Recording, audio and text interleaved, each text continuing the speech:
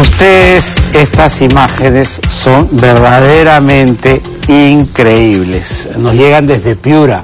Eh, el, el penal de Piura, los miembros del INPE han detectado que se estaba intentando ingresar droga, usted no lo va a creer, pero es cierto, ahí están las imágenes, en cancha, en cancha serrana y en piezas de pollo.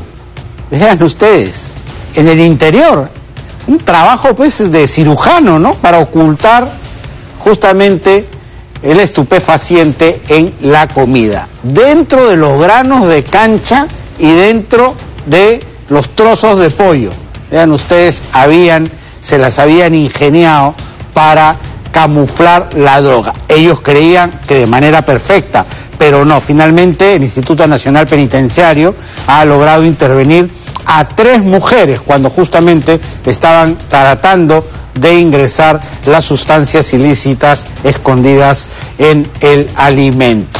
En el primero de los casos se ha intervenido a Elizabeth de los Milagros Gómez Rojas cuando pretendía ingresar la droga en la cancha. ¿eh? Así que ha sido detenida. También eh, se, re, eh, se, registró la misma situación con Erika Elizabeth Martínez Manchego cuando intentaba ingresar cancha serrana. También parece que, que es una, una táctica que están empleando varias personas, ¿no? Ella también ha sido detenida.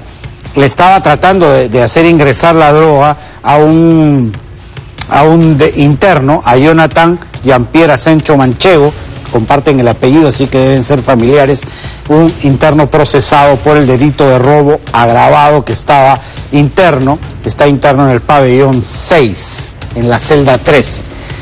Seguramente también va a ser encausado. Y, y por la tercera persona intervenida es Roxana Aurora Noé Gómez de Salazar, que se le encontró dos tuppers de comida preparada y se... Eh, logró detectar en los trozos de pollo, en 25 pedazos de carne, ¿ah?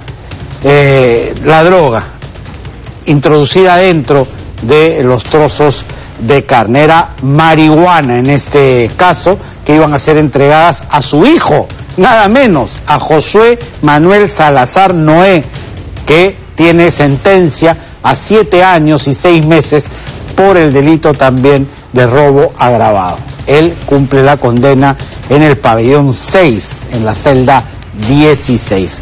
Las autoridades ya han derivado a estas personas hacia la fiscalía para que sean acusadas. Parece que van a tener que compartir celda pues con sus familiares a los cuales le trataban de ingresar la droga.